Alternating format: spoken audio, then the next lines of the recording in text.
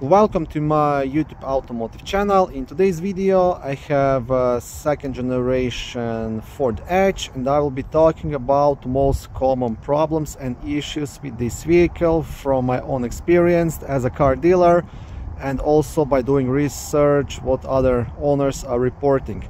This video will apply to Ford Edges made from 2015 all the way up to 2024.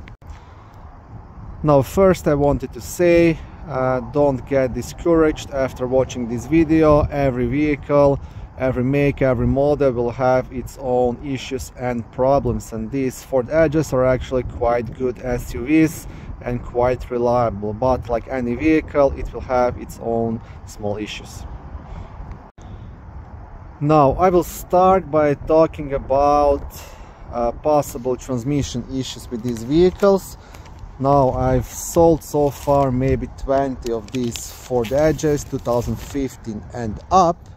And uh, quite often these vehicles come with check, check engine light on and codes uh, showing P00, 11, 12, 14, 15, 16, 17, 18, P00, 19, 21, 22, 24 or 25 and those are all transmission codes now it's nothing too major to be worried about but what happens uh, problem is the VCT solenoid and I had to replace probably at least 10 of those. Uh, small debris uh, causes the, the VCT solenoid to stick and that will cause uh, some minor transmission issues and uh, the codes I just mentioned now you have two options on how to fix it. You can try clearing out the VCT solenoid or even better just replace it and that will fix the problem. Now much bigger problems with the transmission are reported lately. Uh, I haven't experienced this by, my, by myself but lots of owners uh, did. So what happens? Vehicle starts to uh, hesitate when accelerating and jerking at slower speeds and that is a first sign of the transmission problems. And most of those owners uh, took the vehicles to Ford dealers and the transmission had to be replaced. And I'm seeing more and more of these uh, reports. Um, like I said I didn't experience it by myself but that is something maybe to keep in mind. I'm recording this video in 2024 so these uh, vehicles are, are, still quite new. But in the future in like two three years if you're watching this uh, maybe just pay attention to the transmission take it for a drive make sure it shifts uh, smoothly there is no jerking and there is no hesitation when accelerating okay now the second problem I will mention uh, those are the oil leaks. Um, so what happens? Some actually most of the EcoBoost engines will have oil leaks from the turbocharger oil supply line and the drain tube. And the fix for that is to replace the seals and the lines as well. Um, so we've had like I said 20 of these vehicles and I'm gonna say maybe eight of them. I had to I had this issue and I had to fix it. And also if you do research online this is one of the most reported problems. This is not too bad and not too expensive fix but it's something that has to be fixed.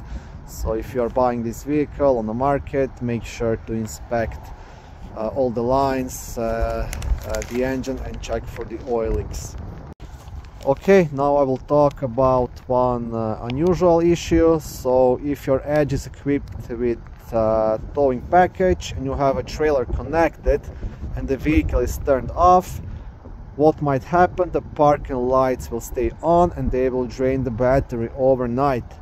Um, now the fix for this that's actually the software issue. So you will have to take the vehicle to a Ford and they will have to update the software in the trailer module called TRM. So you, so you cannot fix it by yourself, it's the software issue. Okay, next thing I will talk about a very very common problem with the Ford Sync.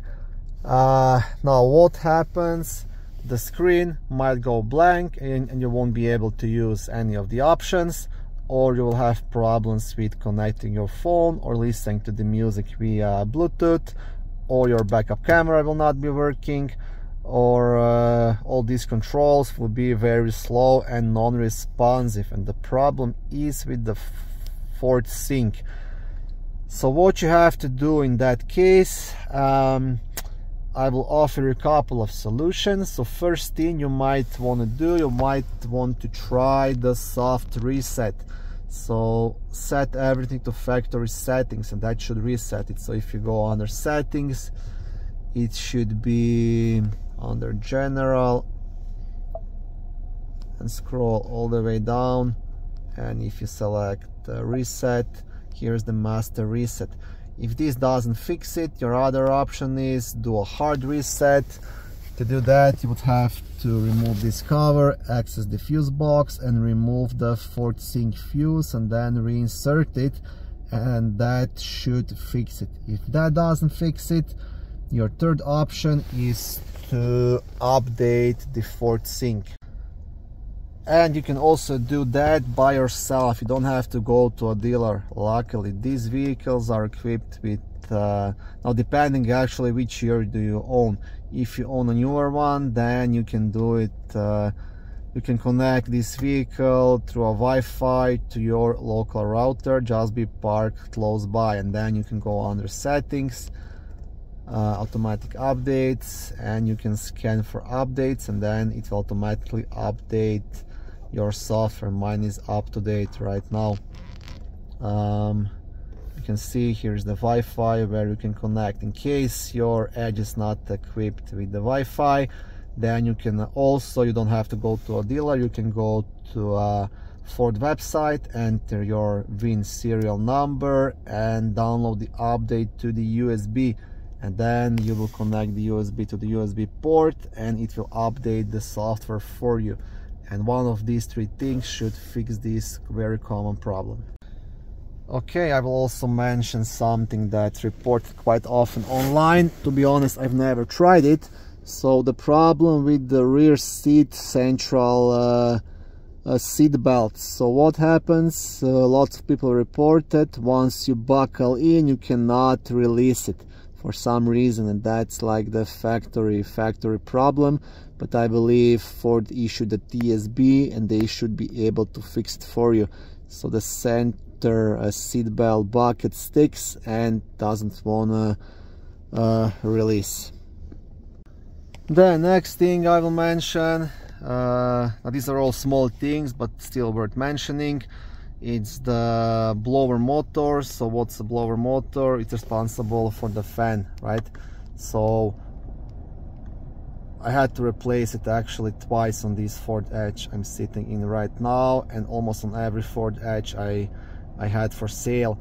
Um, so what happens? First the blower motor starts to get loud and you will hear that uh, like uh, squeaking noise when the fan is uh, working. The higher the fan speed more squeaking you will hear.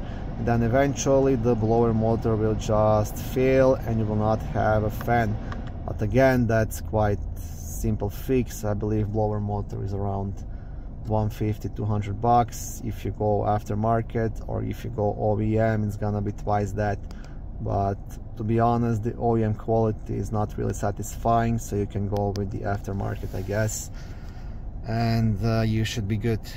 Okay now the last problem I will mention is with the power lift gate. These vehicles have uh, problems with that quite often. It stops working I had that case a couple of times and it's one of the most reported issues online as well by consumers.